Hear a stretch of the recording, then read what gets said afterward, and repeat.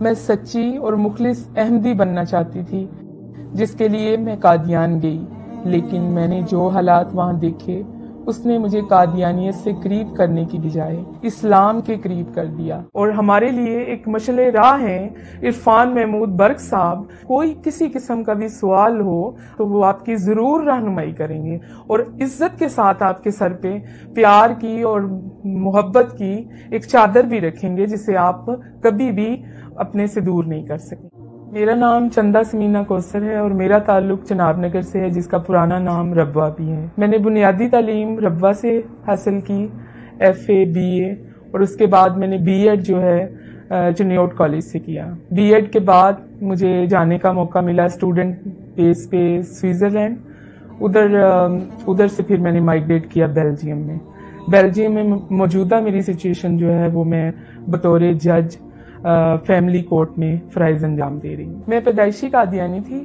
میرے خاندان میں سب سے پہلے میرے پردادا قطب دین نے مرزا قادیانی کو امام مہدی مانا تھا۔ جب میں قادیانی تھی تو بھی اپنے آپ کو مسلمان ہی کہا کرتی تھی، بلکہ ٹرو مسلم کہا کرتے تھے ہم اپنے آپ کو۔ لیکن میرا اپنی والدہ کے ساتھ چھوٹی عمر میں قادیان جانے کا موقع بنا۔ یادداشت میری تھوڑی شارپ ہے، اس لیے مجھے ایک ایک دن یاد ہے قادیان کا۔ تو میں نے جو محسوس کیا کہ وہ ایک بستی میں سے ایک بدبو ہے، جیسے تافن ہے، ہلکی ہلکی سی، یا جیسے کہتے ہیں کہ نالیوں کی یا گٹروں کی اس طرح کی ایک آتی ہے تافن سا۔ دوسری میں نے چیز جو قادیان میں محسوس کی وہ تھی ایک ان کا کمرہ ہے، بیت الدعا۔ اس میں بہت لمبی لائنیں، بہت لمبی لائنیں اور کہتے ہیں اس میں جو جا کے دعا کرے گا وہ تو جنت کا بالکل ہی حقدار ہے۔ اس میں جب جانے کا موقع ملا تو اس میں ایک اور ہی قسم کی وحشت اور دو دو تین تین لوگ ادھر کھڑے ہو سکتے ہیں جلسے کے دن تھے۔ تو اس بیت دعا میں مجھے کوئی بھی روحانی چیز نہیں نظر آئی۔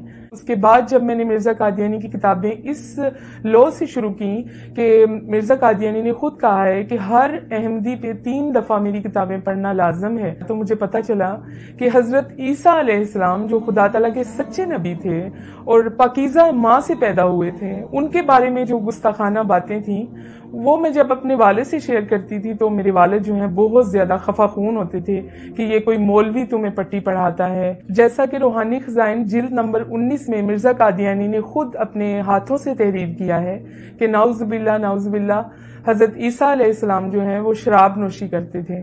تو اس طرح کے بہت سارے کفریہ کلمات ہیں جو ایک نبی کی شان کو بالکل بھی زیب نہیں دیتے۔ اس کے بعد جو کچھ ایسی باتیں ہوتی تھیں کہ بہت ہی زیادہ ایک بچی اپنے باپ سے نہیں کر سکتی۔ تو وہ باتیں میں اپنی ماں سے کرتی تھی اندھیرے میں، کبھی چھپ چھپ کے، کبھی پیٹی والے کمرے میں کہ والدہ یہ چیزیں لکھی ہیں۔ تو میری والدہ ایک پڑھی لکھی عورت تھی تو پھر وہ مجھے کہتی تھی مجھے نشان لگا دو بیٹی، میں دس بار پڑھوں گی اور اسے سمجھنے کی کوشش کروں گی۔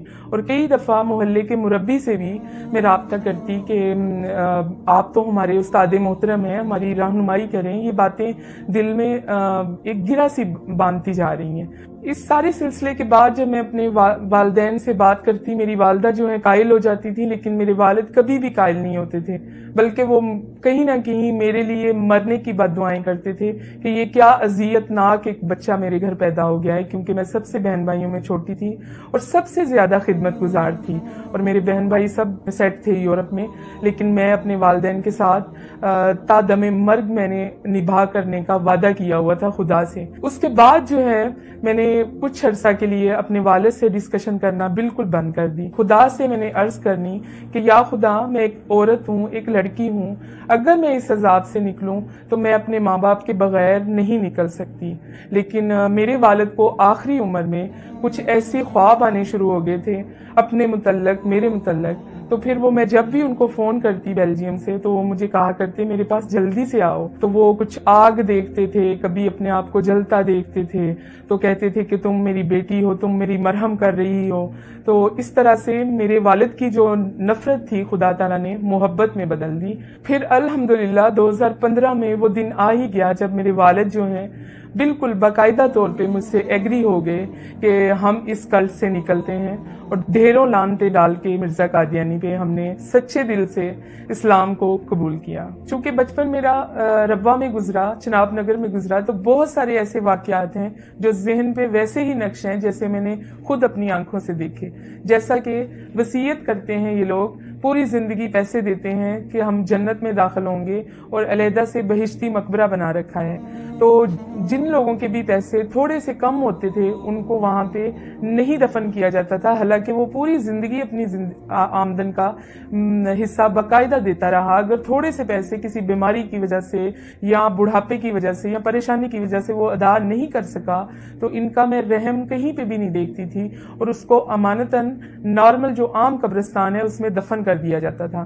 اور میرے والد چونکہ بزرگ تھے اور نظر بھی کمزور تھی اور بہت دعاؤں والے آدمی تھے، ان کو انوائٹ کیا جاتا تھا کہ فلاں وقت میں آپ آئیے، وہاں سے اس میت کو اٹھا کے، نکال کے، پھر بہشتی مقبرہ میں اس شرط پہ داخل کیا جاتا تھا جب تک وہ اپنے بقایا جات ادا نہیں کر دیتا تھا۔ چار دن بعد یا پانچ دن بعد، تو میں چھوٹی تھی تو اپنے والد سے ضد کرتی تھی کہ میں بھی آپ کے ساتھ ضرور جاؤں گی، مجھے دیکھنا ہے۔ جب اس کو نکال کے ایک ریڑی سی ہوتی تھی، اس اس کے اوپر رکھا جاتا تھا۔ اس وقت میں میرے والد کے کندھے پہ ایک صافہ سا ہوتا تھا۔ وہ میرے منہ پہ بھی لپیٹ دیتے تھے اپنے، کیونکہ اتنا زیادہ تعفن ہوتا تھا۔ اور اس میت سے، اس لاش سے ایک غلیظ اور بدبودار پانی پورا سفر جو ہے عام قبرستان سے بہشتی مقبرے تک چھڑکاؤ ہوتا جاتا تھا۔ وہ ماں باپ جو ربا کی تعمیر میں، جن جن کا ہاتھ تھا، جن کی اینٹیں لگانے میں انہوں نے اپنا خون پسینہ دیا ہوا تھا۔ ان کو مرزا مسرور کی وجہ سے اپنے گھر میں قید کیا گیا کہ آپ توبہ کریں۔ آپ ایک پر اثر شخصیت ہے محلے کی۔ اگر آپ اس سے نکلیں گے تو بہت سارے لوگ بھی سوال اٹھائیں گے۔ اور اوپر گلی میں کیمرے بھی لگائے جاتے تھے کہ کوئی بھی ان کی مدد نہیں کر سکتا۔ نہ ان تک کوئی فوڈ پہنچتا تھا، درد کی دوائی ڈسپرین کچھ بھی۔ محلے کا بالکل بائی تو اس طرح کے مصائب برداشت کر کے انہوں نے اپنی زندگی دے دی اور ان کی ڈاکٹری رپورٹ جو میری والدہ کی اور میرے والد کی ڈیتھ سرٹیفکیٹ پہ ہے۔ وہ ہے کہ cause death because of hunger بھوک کی وجہ سے موت۔ نہ کوئی ہارٹ کا مسئلہ تھا، نہ بلڈ پریشر کا۔ صرف ان کی وینوں کو جب چیک کیا گیا تو تقریباً تقریباً تیرہ تیرہ دن سے ان کے اندر کچھ بھی نہیں تھا۔ نہ پانی، نہ روٹی، کچھ بھی نہیں تھا۔ قادیانی جو ہیں، ان کے اوپر ایک الزام ہے کہ وہ اسرائیل کے بہت زیادہ قریب ہیں۔ اور میں بھی اس چیز کو الزام ہی سمجھتی تھی جب میں مختلف قسم کی دیواروں پہ یہ لکھا ہوا دیکھتی تھی کہ قادیانی جو ہے اسرائیل کے یار ہیں، غدار ہیں غدار ہیں۔ تو میں سوچا کرتی تھی کہ یہ کون سے ایسے مولانا کو حق ہے جو قادیانیوں کو ایسا کہے یا باقاعدہ طور پر دیواروں پر تحریر کر دے؟ تو بہت ہی ایک غصے کی سی کیفیت پیدا ہوتی تھی۔ لیکن بیلجیم میں جانے کے بعد، ان کے سسٹم کے اندر جانے کے بعد، ایک تبلیغی طور پہ ان کا کام کرنے کے بعد اندازہ ہوا کہ یہ بالکل حقیقت اور حق اور سچ بات ہے۔ کیونکہ قادیانیوں کا ایک اعلیٰ سطح کا مرکز جو ہے، وہ اسرائیل میں خود بنایا ہے اور ادھر ان کا آنا جانا بھی ہے۔ اور دو ہزار چودہ میں باقاعدہ طور پر قادیانیوں نے چھوٹے چھوٹے ہر ایک کے کارڈز بنائے چپ کے ساتھ، جس میں آپ کی ہیلتھ، آپ کی ایجوکیشن، آپ کی عمر آپ کیا کرتے ہیں؟ آپ پوری ایک بایوگرافی کے ساتھ۔ اور یہ انہوں نے اس نام پہ بنائے کہ یہ ہماری سیکورٹی کے طور پہ ہیں۔ لیکن وہ ایک قسم کا معاہدہ تھا اسرائیل کے ساتھ کہ ہم پاکستان کی طرف سے یہ والی کمیونٹی جو ہے وہ اتنی تعداد میں آپ کے ساتھ شانہ بشانہ کھڑے ہیں۔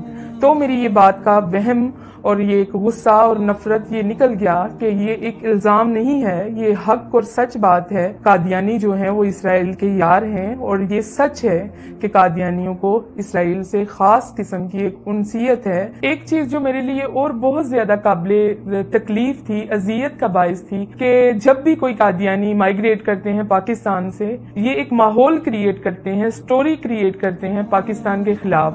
کہ مولاناز جو ہیں وہ ہمارے پیچھے چڑھ گئے، ہماری بچیوں کو خطرہ ہے۔ یہ صرف اور صرف پاکستان کو اس طرح سے ڈاؤن کرنے کی باتیں کرتے ہیں کہ یہ ایک بہت ٹیرورسٹ سا کنٹری لگتا ہے دیکھنے والے کو، جس کی ایک مثال یہ ہے کہ پاکستان کے جو تحفظات ہیں یورپ میں یا دوسرے ملکوں میں، وہ قادیانیوں کی وجہ سے بھی بہت زیادہ بڑھ چکے ہیں، جس کی وجہ سے پاکستان گرے لسٹ میں جانے تک کی نوبت میں آ چکا ہے۔